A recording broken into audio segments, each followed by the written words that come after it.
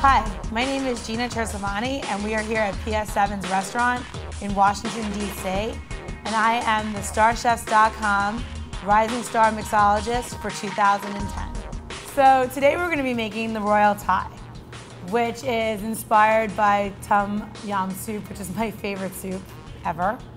And we're going to be using my Barboss Advance, and we're going to be setting this drink on fire. So let's get started.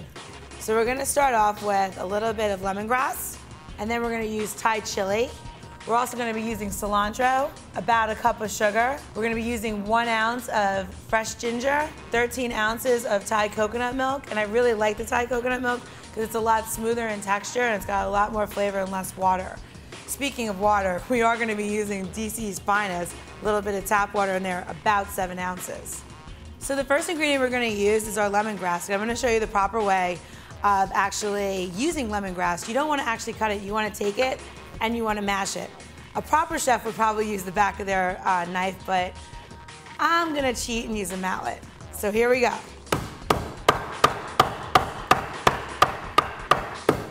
When it's good and mashed like that, you're gonna take your knife and you're gonna cut off the little butt because you don't need it. And we're gonna just cut it. And we're gonna take this and we're gonna put it into our pot.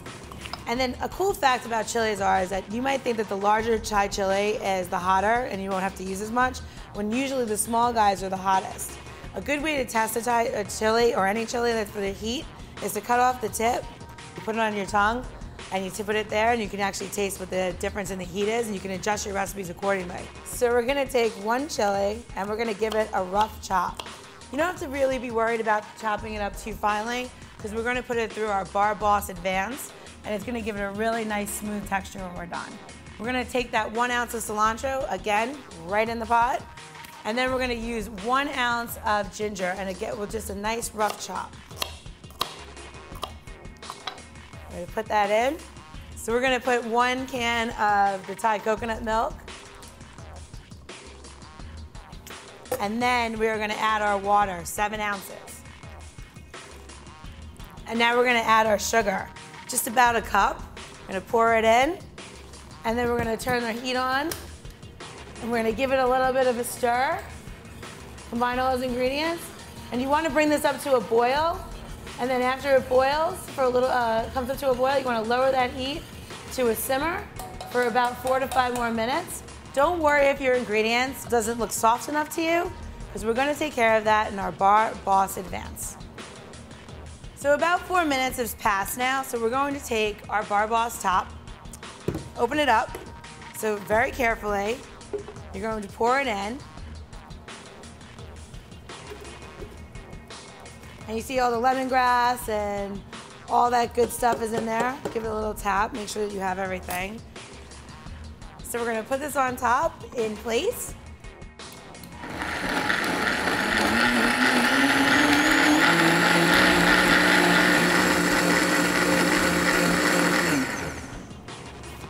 Open it up.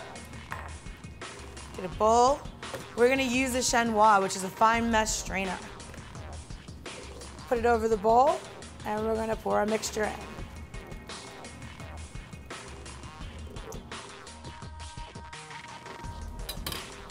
Now we're gonna take our mixture, we're gonna put it in the refrigerator and chill it down for about an hour.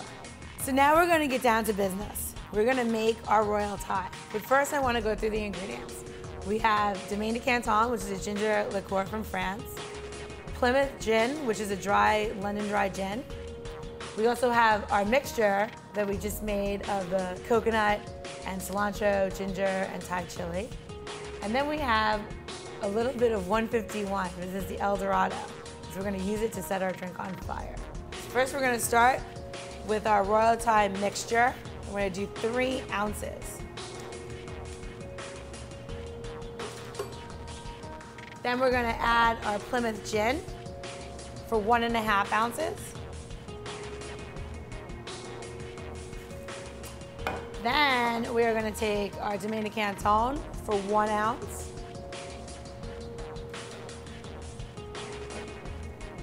And then we're gonna squeeze some fresh lime juice. No matter what anybody says, there's no substitution for fresh ingredients.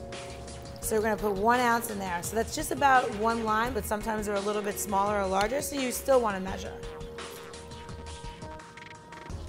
And we have an ounce.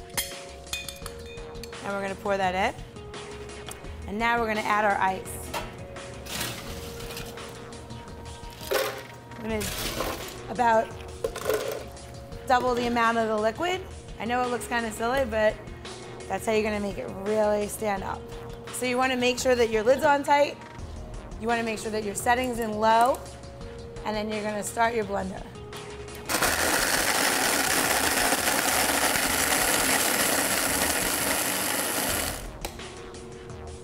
Take it off. Get a coupe glass.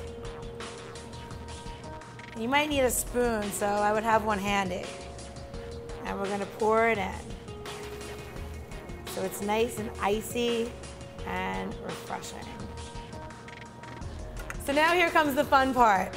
So now that we have the ice and it's all in there, we're gonna take our lime that I hollowed out earlier. We're gonna put it in the side of the glass, just like that. We're gonna add about a half a shot of the El Dorado 151. We're gonna pour it in. We are going to set it on fire, because who doesn't love a fire trick? So now we're gonna finish it off and we're gonna add a little bit of cinnamon. And that is the Royal Thai. Cheers.